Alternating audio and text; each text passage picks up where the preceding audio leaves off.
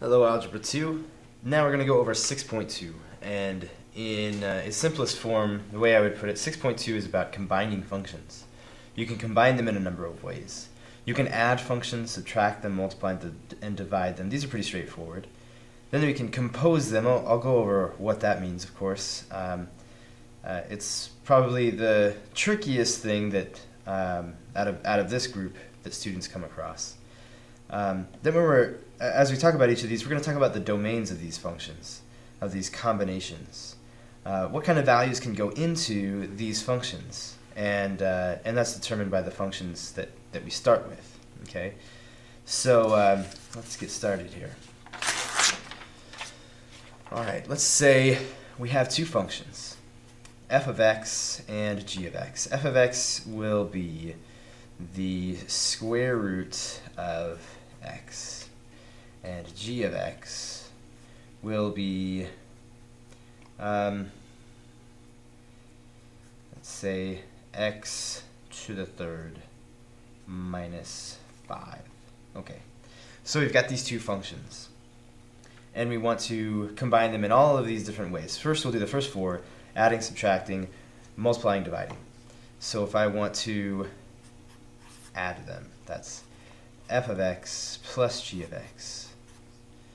Well, that's the square root of x plus x to the third minus 5. Okay? Uh, there's no like terms there. Of course, in the practice problems, there'll, there'll be nicer functions, you know, created to be added together and subtracted. But just to show you, all I'm doing is adding this function to this function. If there were like terms, I'd combine them, and that would be the end of it. Um, now, the thing about this is, what's the domain? Okay, what's the domain of this function? Um, the domain depends on what's the domain of each of these functions.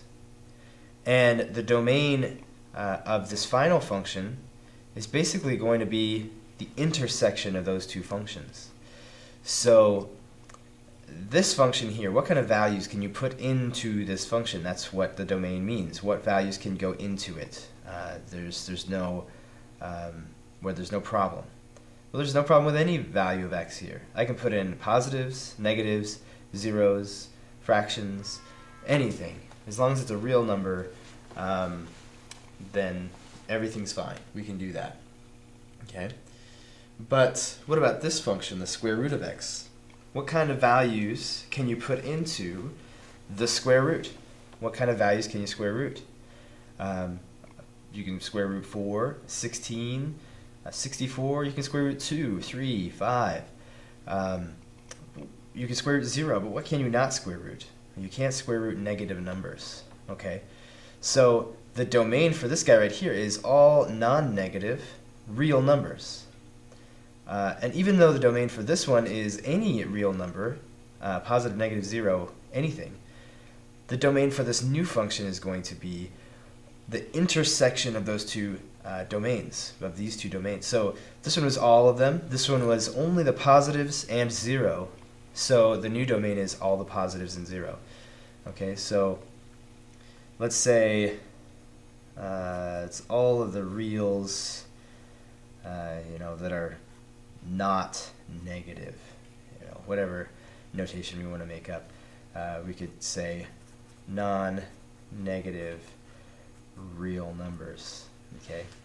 Just however you want to express that, that's what the domain is. So here we go with subtraction.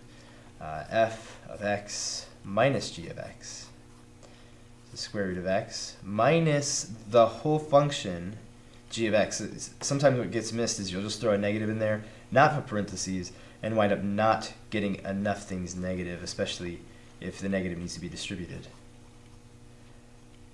Here's g of x, f of x minus g of x this is going to be the square root of x minus x to the third and minus a negative 5, so plus 5. You see what I mean? The mistake could be that you just put minus x squared minus 5 and the minus 5 does not get changed to a plus 5.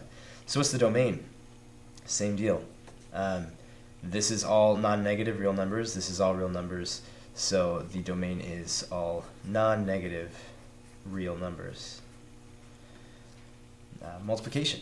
So if I wanted to do the square root of x times the uh, f of x times g of x, that's the square root of x times x to the third minus 5. Okay, so now we get into being able to combine them because um, now we have two uh, things with what we could convert into rational exponents times each other. So x to the 1 half power times x to the third minus 5. So let's distribute this. So x to the 1 half times x to the third, they have the same base, so I can add their exponents together. Uh, 1 half and 3, this is 6 halves, so altogether we would have x to the 7 halves. Remember, we add the exponents together. So uh, then distribute the x to the 1 half to the negative 5, and you have minus 5x to the 1 half. Okay, what's the domain? Um, well, again, uh, we're just combining them together. The things that are going to cause troubles are if we try to put in a negative number, we're not going to have a problem here, but we will have a problem here. We can also see because this is an even, this has an even denominator, this means I'm going to take the an even root, a square root. And as we discussed in the previous sections, um, you cannot um, you know, have negative numbers go into an even root. Um, so what's the domain then? It's all, again, all non-negative real numbers. Non-negative real numbers. And division. So if I want to do f of x divided by g of x, uh, this is what it would look like. It would be x to the uh, square root of x over x to the third minus 5. Uh, and there's really nothing to do here. There's nothing to simplify it. Um, there, there's, you know, nothing's going to happen here. But now the domain part of it is going to be a little different. The domain still is, obviously, we still can't put negative numbers into the square root, so still no. Um, but also, what else causes a problem? This is the question we ask about the domain. What's going to cause a problem? What kind of things basically do I exclude from the values that I can put into my function? I can't put in negative numbers. But I also couldn't put anything into the denominator here that would cause the denominator to be what? To be a zero. You can't have a zero in the denominator. It's, it's bad.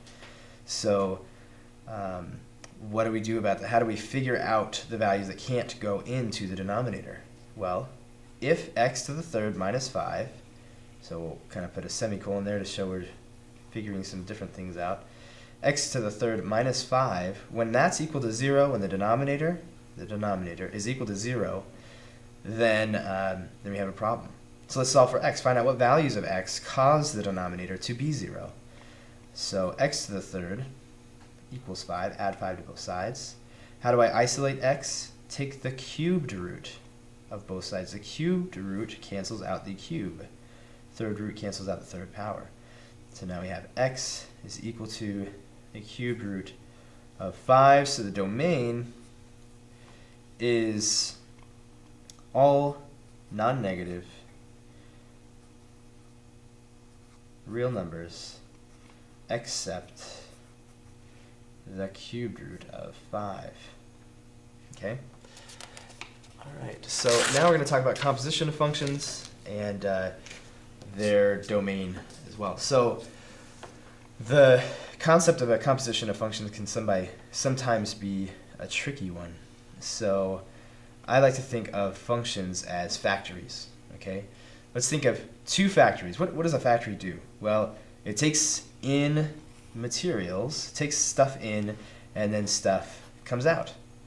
Uh, you know, a factory might uh, bring in plastic and produce ping pong balls, or might bring in metal and fiberglass and um, you know fabric and leather and all these kinds of things, and put out a car. Um, but uh, for a, a simple example, let's say that this one is a table factory. It brings in and makes wooden tables. So it brings in wood. So income trees minus the leaves. So uh, logs. Logs come in. Lumber of some kind comes in, and um, those are the things that go in. That's like putting in an x into your function. So in come things, in come the, the, the wood into this factory, and out comes a table. Okay, That's what this factory does. It makes tables from wood. Um, this factory, let's say, is a green paint factory. It paints things green. Uh, so in comes what? Well, the green paint factory is pretty open to suggestions, so they take pretty much anything. They're going to take in, um, you know, uh, a house or a car or a cat or a bird, whatever. You bring in something to the green paint factory, and out comes something that got painted green. Okay. Uh, but a composition of functions is when you put two functions together in such a way that whatever comes out of this function goes straight into this function. Okay, so whereas before each of these had their, their own individual um, functions, their own individual things that they did, uh, stuff that they produced. Um, now they produce something unique together. Okay, so what what is this composition? What is this um, union of these two functions? You know, these two companies had a merger. What would they make? Well, this function and this, this order is important. Um, this function, this factory, uh, brings in wood and out comes a table. And immediately, uh, you can imagine they just get crunched together and, and um, the, there's no longer maybe an outside here. It goes right into the green paint factory. So what comes out? Well, wood goes in, comes out here a table directly into this factory here so what this composition makes is green tables.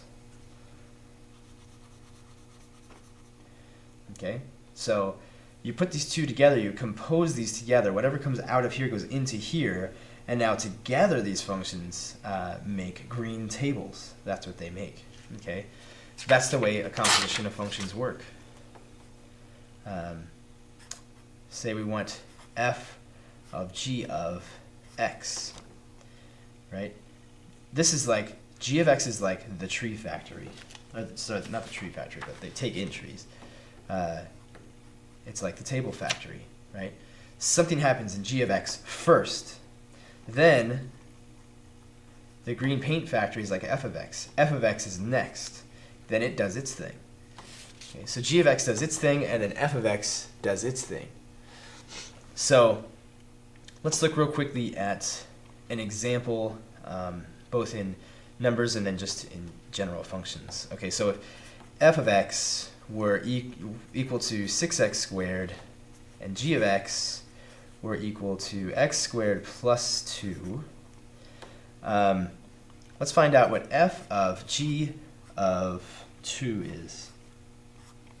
Okay, so f of g of 2, well, we know what g of 2 means. It means plug in a 2 for x into the function g and see what comes out. So g of 2 is 2 squared, that's 4. 2 squared. Put a 2 in for x, right? 2 in for x, and that becomes 4, plus 2. That's altogether 6. Okay, well, then we take that 6, we take that table, and then we put it into the green paint factory. We put it into f. So now we take this 6, now we're going to evaluate f of 6. Okay, so that's 6 times 6 squared. That's uh, 6 times 36, that is 216. All right, so f of g of 2, uh, we take g of 2, that turns out to be 6. We take 6 and put it into f of x. f of 6 turns out to be 216, so this is 216. Now let's talk about in general, f of g of x, the function. Uh, well, I'm going to start to write f. I'm going to start. So start to write f, there's a 6, and then, whoa, there's an x here. What do I do about that? Well, just like here where I would replace the x with a number, I'm going to replace the x. Everywhere I see an x, I'm going to replace it with the entire function g. So g is x squared plus 2. So I'm going to put in x squared plus 2. Uh, and this is also squared. And I can see I'm going to need to pick this up uh, for a few moments in the next video. Um, so I'll see you in the next one.